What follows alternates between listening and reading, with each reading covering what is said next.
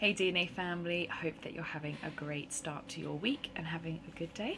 Um, so today we are looking in our wee book of devotions at when God changes our hearts, our actions change too.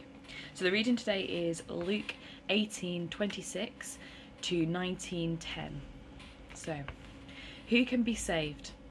When the people heard this, they asked, Then who can be saved?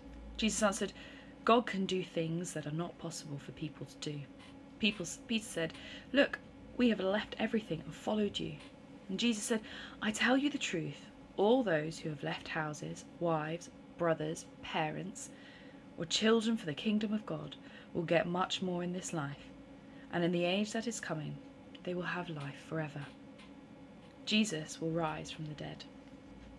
Then Jesus took the twelve apostles aside and said to them, We are going to Jerusalem Everything the prophets wrote about the Son of Man will happen.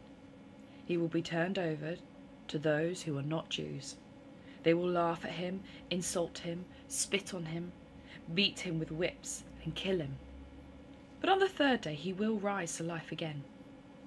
The apostles did not understand this. The meaning was hidden from them, and they did not realize what was said. Jesus heals a blind man. As Jesus came near the city of Jer- Jericho, a blind man was sitting beside the road, begging. When he heard the people coming down the road, he asked, What is happening? They told him, Jesus from Nazareth is going by. The blind man cried out, Jesus, son of David, have mercy on me. The people leading the group warned the blind man to be quiet, but the blind man shouted even more, Son of David, have mercy on me. Jesus stopped and ordered the blind man to be brought to him.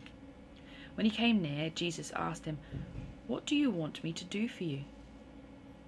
He said, Lord, I want to see. Jesus said to him, Then see, you are healed because you believed. At once the man was able to see, and he followed Jesus, thanking God. All the people who saw this praised God. Zacchaeus meets Jesus. Jesus was going through the city of Jericho. A man was there named Zacchaeus, who was a very important tax collector, and he was very wealthy. He wanted to see who Jesus was, but he was not able to because he was too short to see above the crowd. He ran ahead to a place where Jesus would come, and he climbed a sycamore tree so that he could see him. When Jesus came to that place, he looked up and said to him, Zacchaeus, hurry and come down. I must stay at your house today. Zacchaeus came down quickly and welcomed him gladly. All the people saw this and began to complain, Jesus is staying with a sinner.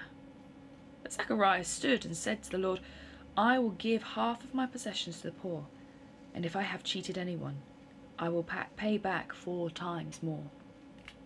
Jesus said to him, Salvation has come to this house today, because this man also belongs to the family of Abraham. The Son of Man came to find lost people and save them. We have two readings from the Old Testament today, which is the first one is Jonah 3 4 to 5 and verse 10.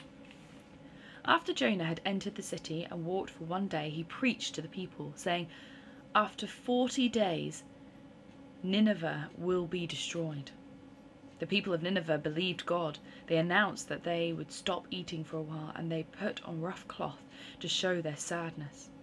All the people in the city did this, from the most important to the least important.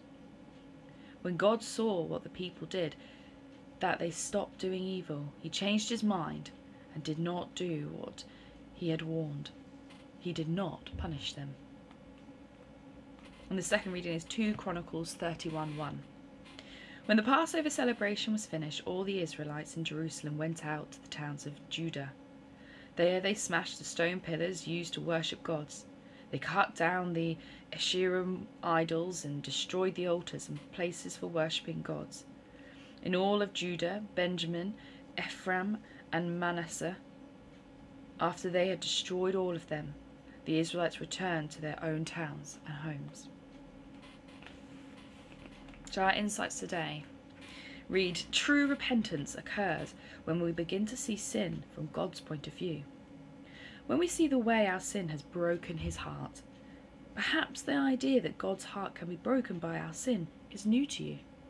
In Genesis 6 5 to 6, we are told then the Lord saw that the wickedness of man was great on the earth, and that every intent of the thoughts of his heart was only evil continually. And the Lord was sorry that he had made man on the earth, and he was grieved in his heart. God was so disappointed with what he saw that there was grief or sorrow in his heart. Jesus also was broken-hearted as he wept over Jerusalem. Oh, Jerusalem, Jerusalem, you who kill the prophets and stone those sent to you, how often I have longed to gather your children together, as a hen gathers her chicks under her wings, but you were not willing. Luke 13:34. God's heart aches over our sin. It alienates us from him and from our fellow believers. If we want to have victory over sin and turn our lives wholeheartedly over to God, then we must see our sin from God's perspective. No sermon on hell can ever change a person's heart like seeing the grief sin has brought to the heart of the one who created us. We must ask God to show us what our sin does to him. As we do this and begin to understand his great love for us, despite how much we have hurt and grieved his heart, turning away from that sin is the natural thing to do. This is the test of sincerity and of the level of our desperation to be right with God. Floyd McClung. So, our action point today is Do you think the people mentioned in these passages recognise that their sin grieved God? And what in your life grieves God? So, as you journal on those two things today and have a think about it, um, if you have any questions or thoughts, we'd love to hear them. Um, they bless us greatly as a DNA team, but also as a DNA family to hear um, each other's insights. And I hope you have a really blessed day and have a great um, week as you um, embark on what these insights mean for you. Lots of love. Bye.